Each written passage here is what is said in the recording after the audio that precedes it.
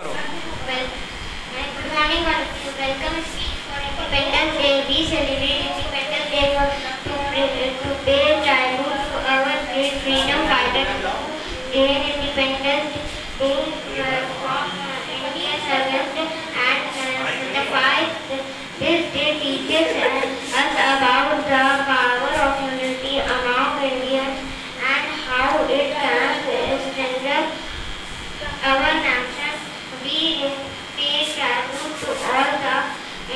Wow.